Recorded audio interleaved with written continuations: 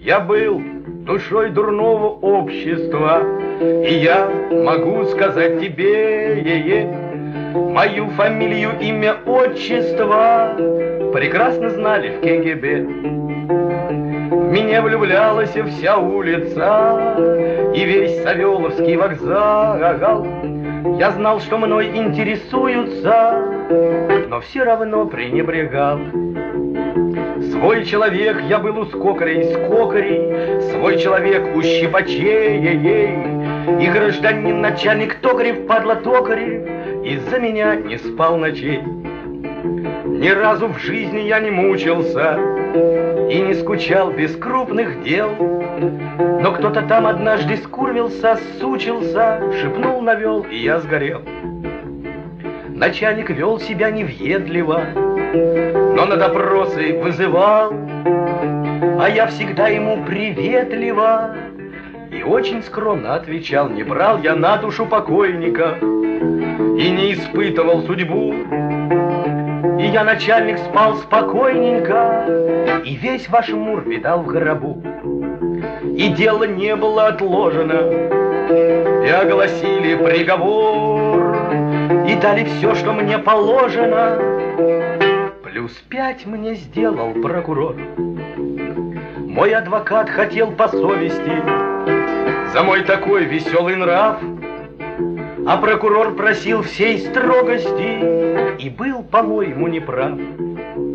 С тех пор заглохло мое творчество, Я стал скучающий субъект.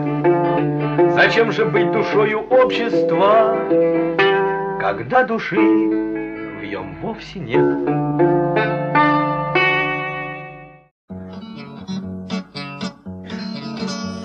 Я вчера закончил ковку, и я два плана залудил. И в загранкомандировку от завода уходил. Копоть сажу смыл, под душем съел холодную езя. Инструктор послушал, что-то можно, что нельзя.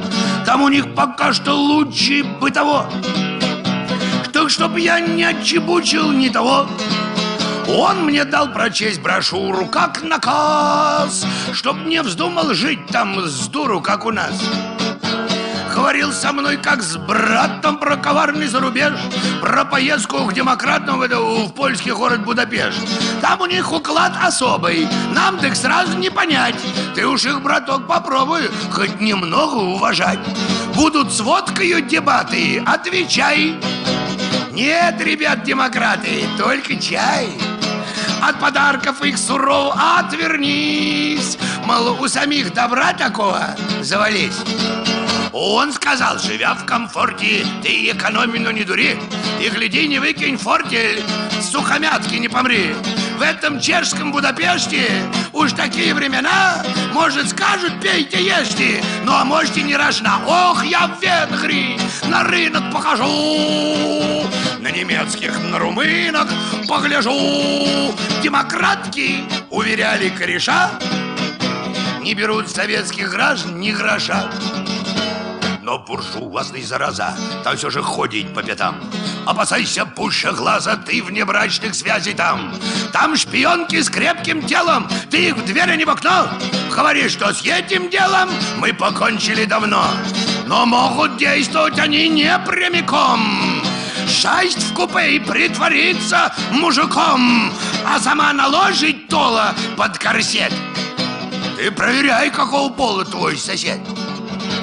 Ну тут давай его пытать я, а опасаюсь маху дал. Как проверить, лезть под платье, да схлопочешь по мордам? Но инструктор парень дока, деловой, попробуй срежь. И опять пошла морока, про коварный зарубеж я популярно объясняю. Гляни вешт, я к болгарам уезжаю в Будапешт. Если темы там возникнут, сразу снять. Бить нельзя их, они вникнут, разъяснять. Но я ж по-ихнему ни слова. Ни в духу и ни в тую. Молод мне, так я любовь своего перекую. Но ведь я не агитатор. Я потомственный кузнец. Да я к полякам в Улан-Батор не поеду, наконец. Сплю с женой, я мне не спится. Дусь, а дусь. Ж, может, я без границы обойдусь. Я ж не ихнего замесу. Я от этого сбегу. Я на их не пельмес ни гулу. Дуси дремлет, как ребенок, накрутивший бегуди. Отвечает мне с просонок, знаешь, Коли, не зуди, что это, коль больно робок, я с тобой разведусь. Двадцать лет живем бок о бок, и все время дусь и дусь. Обещал, забыл ты нечто? Ну, хорош. Что клеенку с Бангладеш-то привезешь? Сбереги там пару рупий, не бузи, мне хоть чё, хоть черта в привези. Я уснул, обняв супругу, Дусю нежную мою. Снилось мне, что я кольчугу, щит и меч себе кую. Там у них другие мерки, не поймешь, съедят живьем. И все снились мне венгерки с бородами и с ружьем. Снились Дусины клеенки цвета беж И нахальные шпионки в Бангладеш. Поживу я, воля Божья, у румын. Говорят, они с Поволжья, как и мы. Вот же женские замашки Провожала, стала петь Оттутюжила рубашки Любо дорого смотреть До свидания, цех кузнечный Аж до хвостика родной До свидания, план мой встречный Перевыполненный мной Пили мы, мне спирт в аорту проникал. Я весь путь к аэропорту проекал К трапу я сзади в спину Быталай Ну на кого же ты нас покинул, Николай?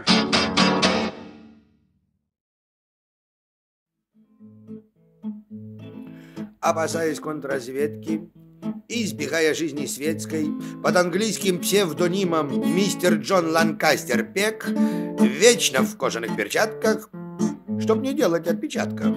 Жил в гостинице Савейской, не Савейский и человек. Джон Ланкастер в одиночку преимущественно ночью щелкал носом. В нем был спрятан инфракрасный объектив. А потом в нормальном свете представало в черном цвете то, что ценим мы и любим, чем гордится коллектив. Например, клуб на улице Нагорной стал общественной уборной. Наш родной центральный рынок стал похож на грязный склад.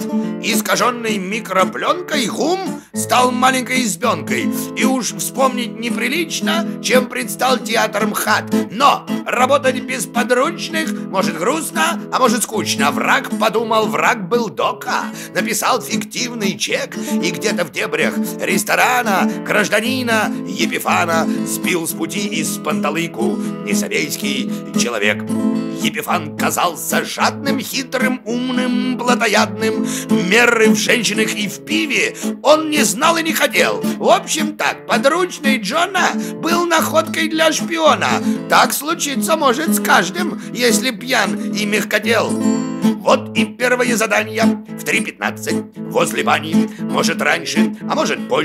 Остановится такси. Надо сесть, связать шофера, разыграть простого вора, а потом про этот случай раз трубят по BBC. И еще побрейтесь свежие.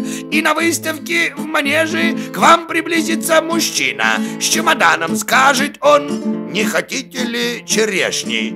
Вы ответите, конечно. Он вам даст батон с взрывчаткой, принесете мне батон.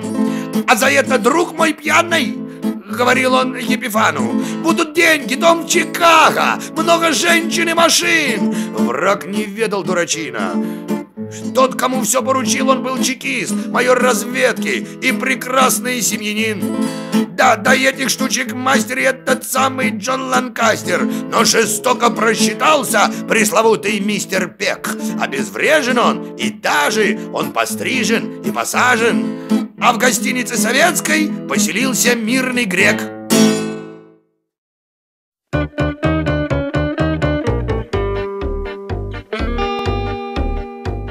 Перед выездом за гранку заполняешь кучу бланков Это еще не беда.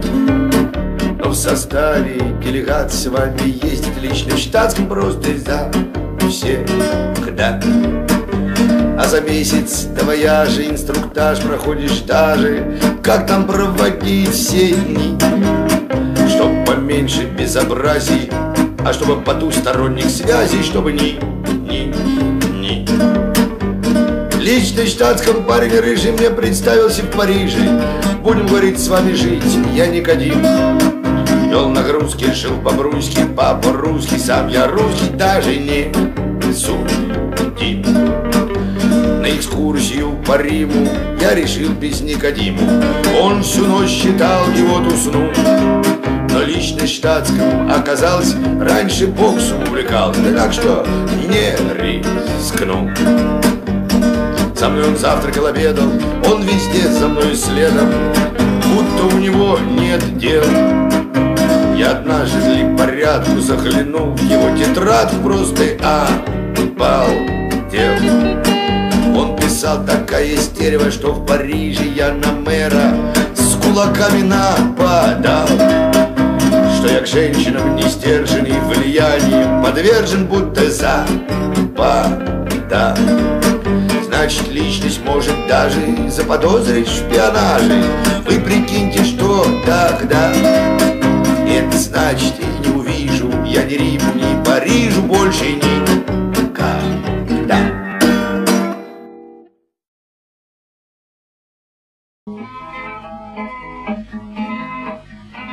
Сколько слухов наши уши поражают, Сколько сплетен разъедает, словно моль.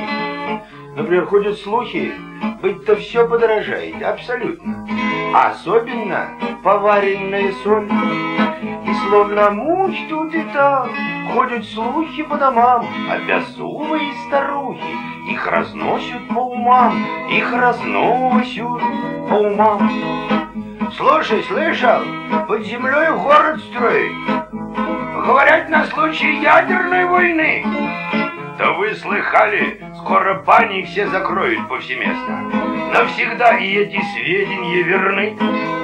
И словно муж тут и там Ходят слухи по домам Обязумые старухи Их разносят по умам Их разносят по умам А вы знаете, Мамыкина снимаем За разврат его, за пьянство, за дебош и, кстати, вашего соседа забирают негодяя, потому что он на Берию похож. И словно муж тут и там Ходят слухи по домам Обязовые старухи Их разносят по умам Их разносят по умам Ой, что деется? Вчера траншею рыли Так откопали две коньячные струи Говорят, шпионы воду отравили самогоном, ну а хлеб теперь из рыбной чешуи. Словно муж тут и там Ходят слухи по домам. Обязуные старухи Их разносят по умам. Их разносят по умам. Закаленный во многих заварухах Слухи ширятся, не ведая преград Вот ходят сплетни, что не будет больше слухов и ходят слухи, будто сплетни запретят. Но словно муж тут и там Ходят слухи по домам Обязовые старухи Их разносят по умам Их разносят по умам